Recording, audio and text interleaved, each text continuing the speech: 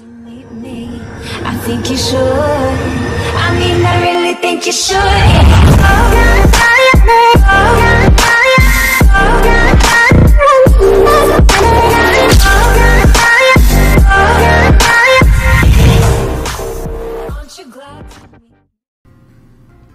G'day guys, it's Jara here and welcome to Detective Hank and the Golden Sneeze. So I saw this game on Steam and I was like, oh this looks fun, so let's try it out. Welcome to Detective Hank and the Golden Sneeze. Do you want an explanation on how to play? Yes. Detective Hank and the Golden Sneeze is an interactive whodunit visual novel that features a different culprit on each playthrough. There are three key points here. One, interact whodunit. In this game, you will have to find out who committed the crime in the story. Pay close attention, look for clues when you're talking to people. So I love like detective solving things and I saw this and I was like, oh this looks like fun and cute, so let's try it. Vision novel. This game will have a lot of text. If you like reading books, you will like this game, but if you're more of an action gamer, we ask you to be patient. 3. Different culprits on each playthrough. Every time a new game is started, one of the several storylines is chosen. Every storyline has a different culprit for the crime committed, and every storyline would have different clues that lead you to the criminal. But watch out, clues in one storyline may be red herring, distractions and another. Keep a pen and paper ready to take notes on the clues in your current storyline. The game will help you uh, a bit on standby chat, but True Detectives has his or her own method of d- deduction. Good luck. Choose the storyline, they each have a different culprit. Random. Got my pen and paper. For this playthrough, we have chosen storyline 2. Cool. About to save your game. Game saved. The night is young and the town is asleep, save for a few exceptions. Very few exceptions. A wall of the museum is blown to dust and a figure waltzes inside the building. Before anyone can react, the figure steals an object and disappears back out through the hole. Guards rush in, but it's too late. The damage has already been done. And just like that, the night continues as if nothing ever happened, except for that one event. Chapter 1 Now you sneeze me, now you don't. It's been morning for a while by the time I get out of bed, and same as ever, as every other morning, I'm a man with a mission. Coffee. My wife greets me as I enter the living room. So here you are. How is it, my Hank? How's my Hank doing? Coffee. Oh, you poor thing. Mary hurries to the dining table and rushes a cup of lukewarm coffee back to me. This coffee is probably five hours old. I should have gotten it myself. I should have gotten up at a decent hour. But there's something about this morning ritual of mine, such that I never want it to change. Our happy morning is suddenly rudely disturbed by the ultimate sound of doom. Ringing, the ringing of impending work. Hello. Er, Hank, the museum's been robbed. I want you to go and investigate. Understood, Captain. I'll be right there. Honey? Yes? I need my hat. You can get that yourself, honey. You already had your coffee. As I should, honey. Mm, how do I look? Like you're gonna punch some bad guys? Take care, honey. Take care. Oh wait, come back. I forgot to tell you something. I'm picking up my parents for tea after work. That's nice. I like it when they come over for tea. Unless they're stealing my cookies, of course. Aw, come on, honey. When does that ever happen? Last week. You got a point. I'll try to keep them in check this time. Take care, honey. Mm. The morning has nearly passed when I finally arrived at the museum. It's crowded with more policemen than visitors. Which isn't saying much, there are no visitors. Besides, I thought our police force was bigger than this. The museum's director, Mr. Abram, writing that down. A B R comes out to meet me as I enter the next room. Oh, thank goodness you came, Detective. The whole place is a mess. Glad to be of service, Mr. Abraham. Could you fill me in on what happened? You see, the thing is, last night our most prized possession, the gold sneeze, was stolen. You see, that's a thing. It's been in the museum for decades. It has great history value, and it was still being studied by the most famous of professors. Some say it holds great mystical powers. But at, at, at the least, it's a big lump of gold. It is clear, it is to be clear that the golden sneeze is worth more its weight in gold. And you know that? Yes. Mr. Abraham, I need to ask you a couple of standard questions. Where were you? Mr. Abraham, where were you the night of the robbery? I was at a party looking for new investors for the museum. It's my job as museum director to expand the facility, so we are looking for some new money. Did it go well? Can't really say. These things take time. A party is usually the first, after all. After that, we invite them over to the museum, let them have a look, and maybe they'll invest in us. Alright. That gives me a good overview of the situation. I didn't tell you if he's lying or not. Have you heard? Have you seen any suspicious activity in the area? Um, I'm afraid that there hasn't been any activity around here, Detective. Nobody has come here in weeks. Can you tell me why?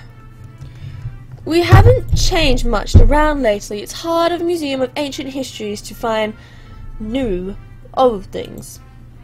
Customers sometimes just get bored. But I am sure we can manage. So you haven't seen anything on? No, I'm sorry. Tell me about the golden sneeze. Of course, detective. The golden sneeze is roughly 200 years old. It's that's about a century before the mechanical revolution to be. In those days, people still believed in magic, so that records on it are a bit muddled, but we do have backstory on it. There were a couple who had one single daughter. They were very poor but lived a happy life. One day, their daughter fell ill. Her health deteriorated. Within a week, it seemed like she would not survive. The couple were devastated, but one fatal night, a monk appeared at their house. Though the couple did not have much to share, nonetheless, they gave the monk a meal. The couple talked a lot, and the monk learned of their daughter, of their ill daughter. He would not let it turn into a tragedy. The monk summoned their daughter and held up a handkerchief. He said to her, Though you know only fear, you will be safe from the moment onwards. At that moment, the girl sneezed louder than she had ever before, and when she opened her eyes, the golden sneeze laid in the handkerchief. Magic or not, her parents did not want to accept the gold sneeze as a gift, but the monk insisted upon it. He replied, People with such generosity deserve to have more to share. In the next moment, he disappeared. The parents sold the object and the daughter never went hungry again. At least, that's one version of the story. In other versions, the daughter drank molten gold and sneezed. The gold sneeze came out of her dying breath. But we prefer the first version, it's more kid-friendly. Thank you for an enlightening talk, Mr. Abraham. I heard enough. I'm gonna look around the crime scene. Let's see. Constable, How's the investigation going? Quite well, Detective. We've finished up here as we speak.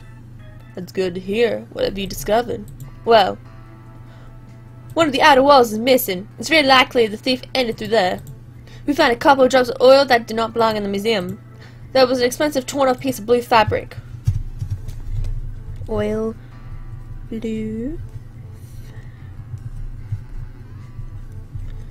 That's all. Okay, thank you, officer. You may go now. I think I've seen enough of the crime scene. I could go look for other clues in the area. Maybe see if there's anything fishy in the museum. Or I could go visit my usual suspect. Where shall I go? I'm gonna look in the area. Let's talk. Let's have a look at the outside. From out here, it looks like the thief could have gone multiple directions. The broken wall edges on the alleyway, even though they took out the wall, they could have easily gotten away unseen. Last night nobody was around, so the thief probably got got away just fine.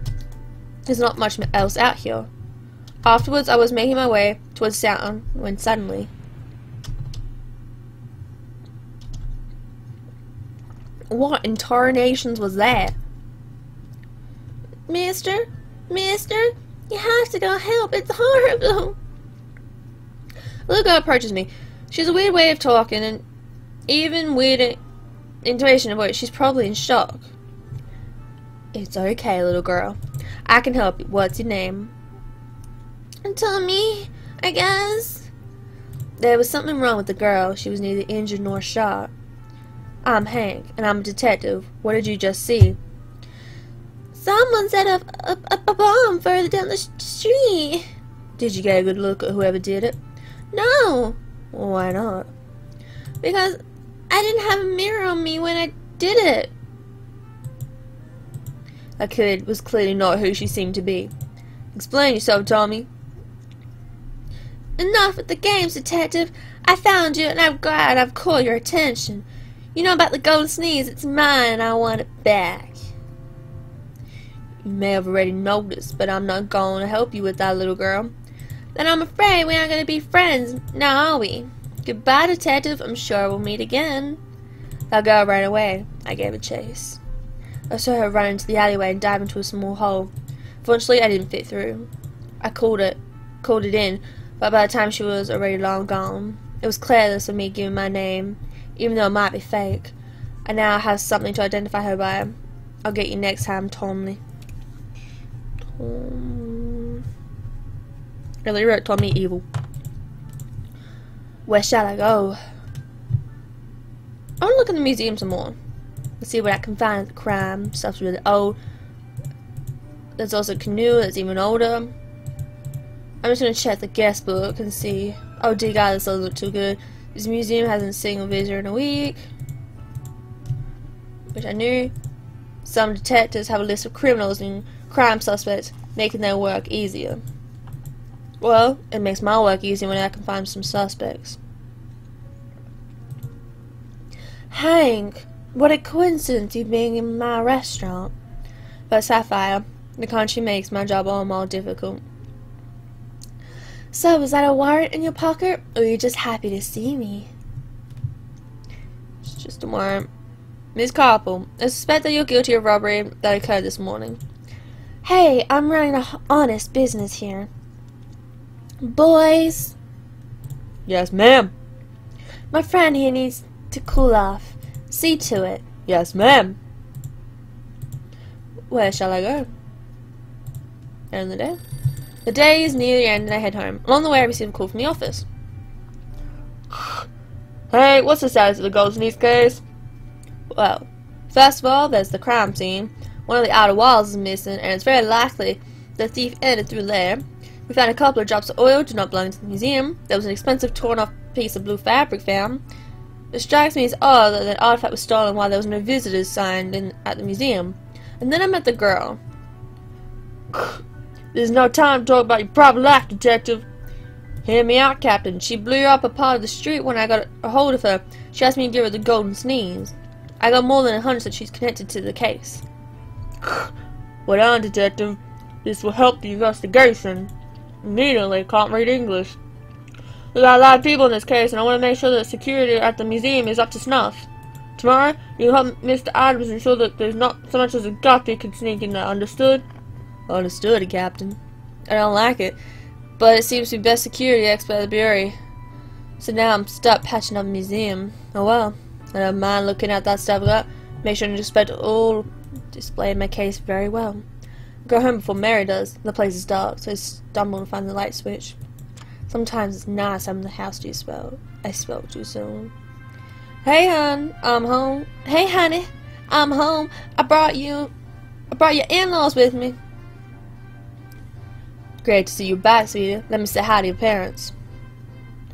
Peter, how's life? How's the business? Same old Hank, making a lot of steam. No pun intended, of course. let's just let's just say that we can handle the pressure. Paul, it's so nice to see you. So, tea and cookies, everyone. As always, it gets late quickly when Mary's parents are over.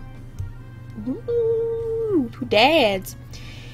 In my lifetime, I never once understood the jokes of the terrible in-laws. I've always seemed to get along with mine perfectly well. Granted, I don't have a mother-in-law, but Mary's parents don't give me that evil eye when I went to pick her up on her first date either. Plus, I love to hear the stories of the rowboat factory. Except maybe that one time they conspired to steal my cookie. That last week. Honey, I'm gonna show you then the new doll mechanic to Peter. We'll be right back. Being left alone with the father-in-law is so awkward, though. So, I read on the news that you got some work to do in the Golden Sneeze case, don't you, Hank? Snap. Now he's starting to interrogate me. I hate when my in-laws want to know about my work. Come on, Hank. Reverse psychology, you know this. How do you know about that, Paul? Well, I just told you I read it on the news. Double snap. Why can't I be more professional at home? Fine, Paul, let's see who's going to be interrogating who this evening. I must choose my replies carefully if I want to hold my ground. Yes, about that news. A lot happens in the city today. Golden Sneeze was stolen tomorrow. It'll be something else. The Golden Sneeze is something, isn't it? How much is it worth? No good, he's not switching topics. Why can't I leave my work at home? Have you seen the museum, by the way? I've seen all the buildings. There are a lot of buildings in the city, but I must. I've seen most of them on investigation. We saw a lot when looking around town yesterday. Good, not a worry about my job. Oop, drop my pen. Need that to write. By the way, are there any suspects in the case? You're not gonna are you, Paul? That depends. Have you been at the museum lately, Paul? Yeah. During our walk, walk around town period, and I actually went to the museum to look at the exposition. Blue expensive. They had such beautiful things on display. Wait a minute. Nobody has seen the museum in months. Why is Paul saying this? Why, Paul, have you stolen the golden sneeze while you were there? Uh, I mean, I was just trying to make conversation, you know, as nosy whippersnapper. I guess not even white light can get past you, can it? I'm glad the police have you on their side, you're very good at it. It's a pretty neat mechanic. I installed it yesterday. So what have you two been up to? Oh, nothing much. Just standard father to son-in-law interrogation. Wait, what? To be continued. I still think it's him. That looks expensive in blue. Ah, what a great morning. I've, in a few minutes we can open the doors and I hope we can get some customers. With emphasis on the word hope. So you must be So you must be Mr. Adams. Who are you when you doing here, little girl? Where is Adam? Where's Ab Abraham? I can't read. What are you talking about?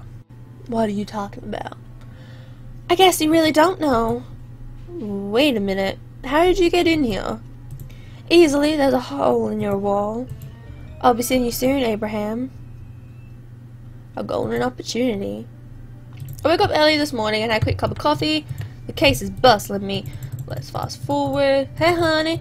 Need my hat. What's the time? Or I'm late to work. Alright, see you later, honey. Bye, honey. Go visit your dad and dad at the robot factory. Good morning, Mr. Abraham. How are you Whoa, you don't look good. What happened? Detective, I'm afraid that my security needs more work than I thought. In this very room, a little girl snuck in and said hi before we opened. What? Did she sneak through the hole in your wall? Uh, yes. Uh, yes. Mr. Abraham, no offense, but I think it's high time we patched that hole.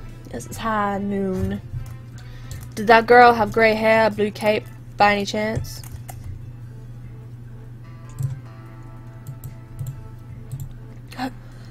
How, how do you know? I didn't, but I do have a hunch that we need to secure the museum as quickly as possible. Mr. Abraham, do you have any... Do you have anyone in place to get your museum up to snuff? I have a couple of handymen, and I know someone who could get some building materials, but where am I going to get the equipment to fix that gaping hole? Well, I might know someone. Never thought I'd give him real estate advice. So who is this fabled person?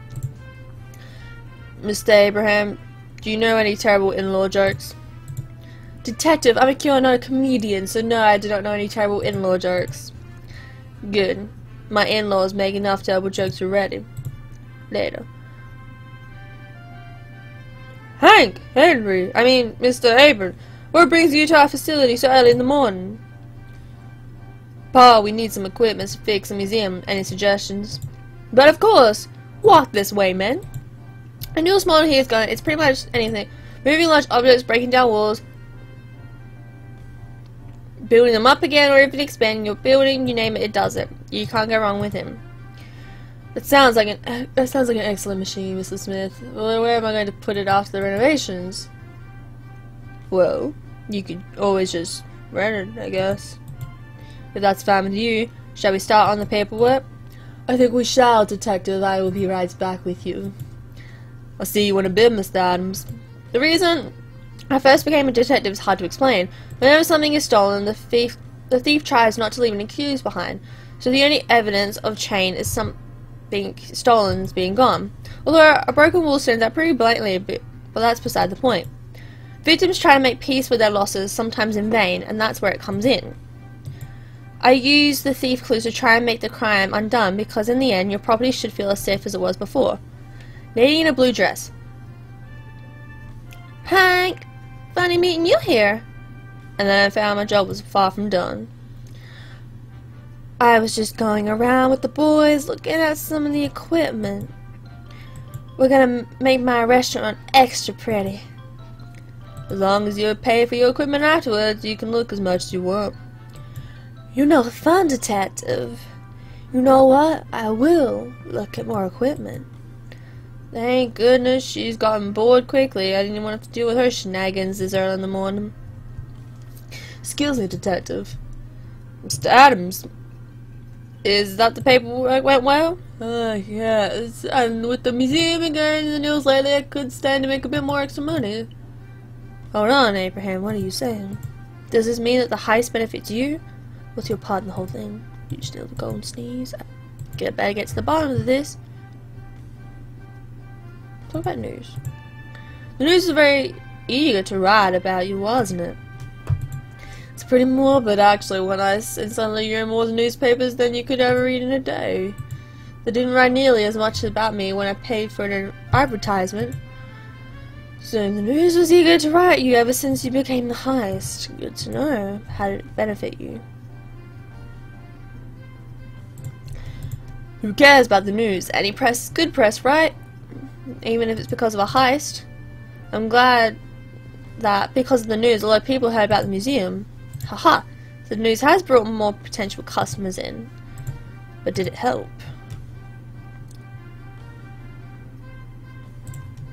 So, if I have this straight, the customers don't matter, the investors' money does.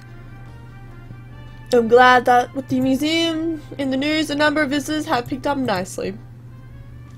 I've never had as many visitors as I did yesterday. They brought in quite some money.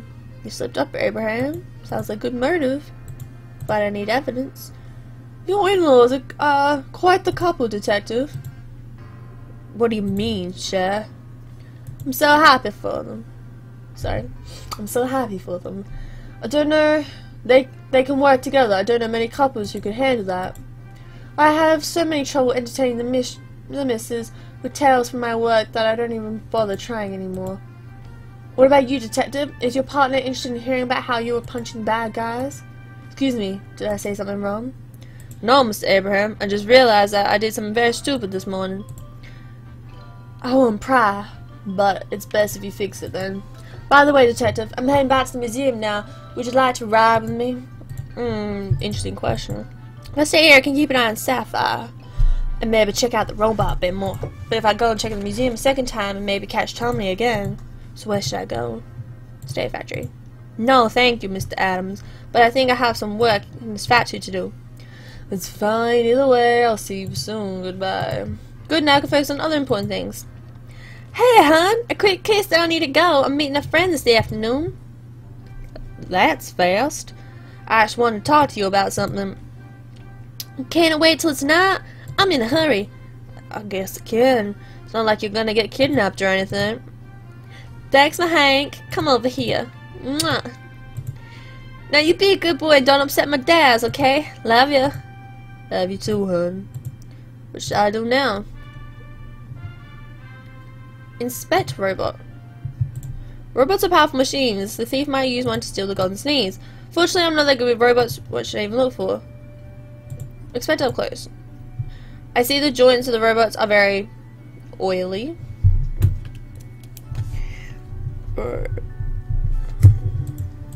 No kidding, these things are very fast, so Pete must keep them oiled at all times. Wait a minute. This oil looks the same that we found in the museum. I hope Peter and Paul haven't done anything to do with this. What shall I do? Ask Paul. Because he's wearing blue. Hey guys, what's up? Hey guys, wait. Hey guys, what's up? Profits, I hope. Dun -dun. It's pretty much uneventful morning. We only rented out one of the robots for the week so far. I prefer selling them. Come on, guys, cheer up. Practice some sales talk on me. Okay, here we go. Good day, dear sir. How can I help you? Do you have any specific specific projects you're looking to work on? There's no chance that this robot was used in burglary, so I need more information out of them. But I want to give Paul the impression I see them as potential criminals. Yes. I'm working on a project involving... I'm moving lots of heavy objects around. Well, do I have the thing for you? A new Gotham, Gotham machine can move the most and biggest things around in no time. For a fraction of the cost of a full working force, all your bricks in your building will be in place within an hour. Just don't move small objects with it or crush it like fingers. What should we do now? I'm not happy with Sapphire's the car mob boss showing up the factory. Let's see what she wants. Good morning, Miss Capone. How is your restaurant coming along? Detective, please don't pretend to be okay with me. But yeah, the restaurant is going along well. What do you want to know? I'm curious about the, how your restaurant's going. Well, I didn't expect you to show some compassion for once, but if you must know, I am going to add a ballroom to my teeny tiny restaurant. Imagine, Hank, a ballroom. Oh my gosh, oh my gosh, oh my gosh. And of course, I just bought the place, so I need some renovations. So far, you're usually up to no good, and you're telling the truth or are you playing me? Let's get the truth from you. Think you can drive one of these? Drive? hey, that's so funny. These things don't have wheels. But no, I don't intend on controlling one of those things. Big boys myself. They're a bit too cruel for me. I'm letting one of the boys handle the robots for the restaurant. I see you got your builders already. Yes. With this restaurant, I hope to bring honor to the memory of my father. A loving father he was, the way I remember him. But he's still in prison, alive and well. Don't ruin the moment, Hank. But I have to thank you, Detective. What? For not accusing me of anything. With my old man being the way he is, everyone always expects the worst of me. It's not like it's criminal activity runs in your blood or anything. So it's nice to have a normal conversation. For once. I agree, Sapphire, for once. What shall I do now? I was heading home when the phone rang. Hey, we received a notice to go see if you heading to the old show. Yeah, the big black market there, maybe you could start to check it out. Understood, Captain. I'll take the next train over tonight. then I suddenly spotted something from the corner of my eye. The other street, I a scruffy looking man holding a package. Excuse me, sir. May I see what you're holding there? It was clearly gone sleep, but before I could relax. Sorry, bud. They didn't pay me enough to talk to you. The car with a roaring engine screeched, tires drove by, the thug jumped inside and escaped. I immediately gave a chase. Unfortunately, I couldn't run fast enough or hail a cab in time, so the car got away. If that tip was right, I knew the Golden Sneeze was heading to the train station. It was time to recruit some reliable backup. Doing normal things, la la la la. I have to talk to you. It's really important. Honey, what's going on? You're making no sense. Well, do you remember how this morning you were free and I went to work and we barely saw each other? Yes. I should have asked you to come along with me. It would have been way more fun. Oh, that's sweet of you to say, but that's not all. That's not all. I think the Sneeze is heading to the train station then to the Old Show this evening. And you thought that you'd take me instead of a policeman? Yeah, I need someone I can trust to blend in with. Someone who likes punch bad guys, maybe. Pretty much, yeah. Then what are we waiting for? Let's go. What are we waiting for? Let's go now. To be continued. And that is where we're going to end today's episode. Thank you guys so much for watching, and if you liked it, let me know in the comments below and tell me what do you think of this series so far. Do you like it? I don't know. Anyway, dry out guys in the next video. Sarcasm out, and let's bring it in for a vase because a hug. Bye bye. See ya. Don't forget to like, comment, and subscribe.